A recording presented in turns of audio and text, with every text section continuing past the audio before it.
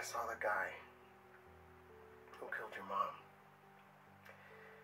I mean, I know he's out on bail right now, but I didn't expect to just run into him like that.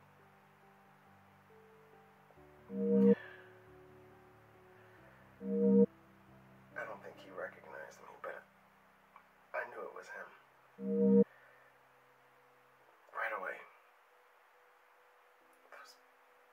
Photographs are burned into my mind.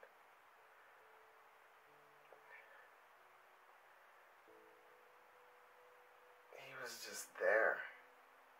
All of a sudden, I came out of work, and there he was. Just walking down 23rd Street. Completely free. Of him to be alive while Claire. So I followed him.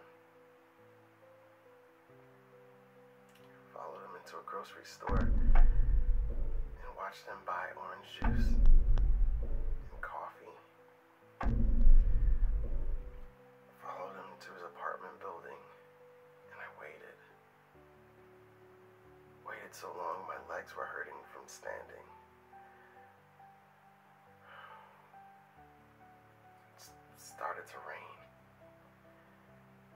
About to leave. Just forget the whole thing, you know. And then he came out.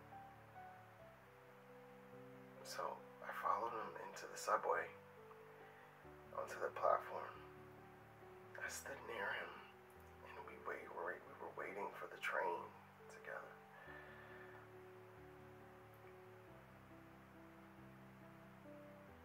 I could have pushed him into the oncoming train. I could have did that then. Instead, we both got on the train, and when he got off, I got off. We, we went into some church down in the basement. It was a meeting for people who didn't want to drink or, or take drugs anymore. I stood in the back.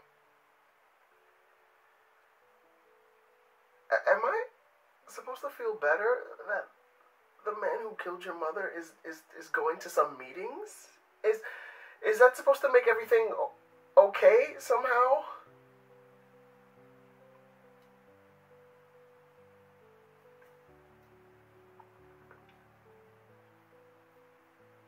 People got up and told their stories. But I was watching him. All I can think to myself is murderer. Murderer. Murderer.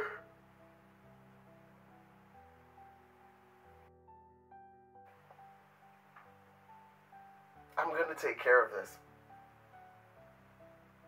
This is what I can do. It's his fault you lost your mother. It's probably his fault you don't even cry. I'm going going to make him pay for this.